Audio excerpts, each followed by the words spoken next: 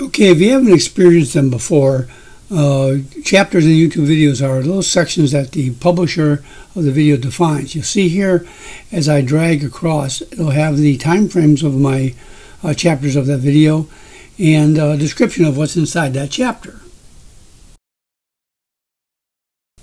Now, chapters are created by the publisher of the video inside of his YouTube system here where uh, he creates a description and all that.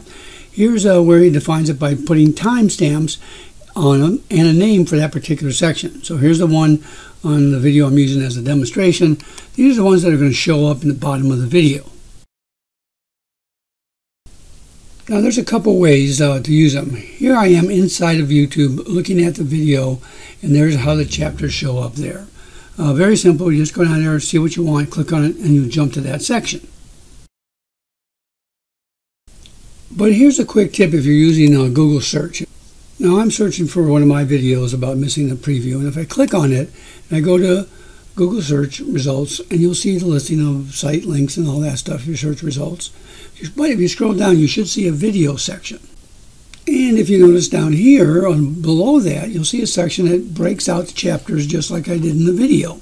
Now depending upon your search results you may not see it expanded like this. For example here's some here listen to multiple videos but they have a summary here that says how many they are you click on the down arrow, and now you see the familiar bar where you can click on the chapter that you want to view.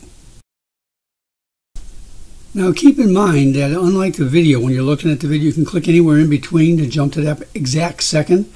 On Google search, you can only use the chapters. So you go down here, you click on the title uh, like that, and boom, you'll jump over here uh, to that exact place. So there you have it. Whether you use it inside of the video itself or from Google search, uh, chapters can be very handy. If you found this video helpful, don't forget to like the video. If you want some more, please subscribe to the Old Guy Geek and click on the bell to get notifications. You can also follow me on Facebook or Twitter. The links are in the description of the video.